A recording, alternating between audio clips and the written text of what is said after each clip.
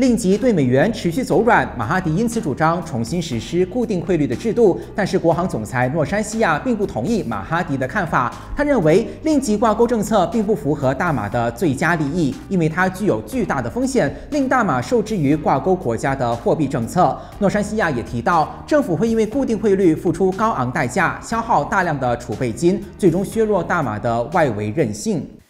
So applying a, a peg uh, would have detrimental impact um, to investor sentiment, affecting non, not only FDI coming into Malaysia, but it would also likely exacerbate uh, capital outflows uh, from Malaysia.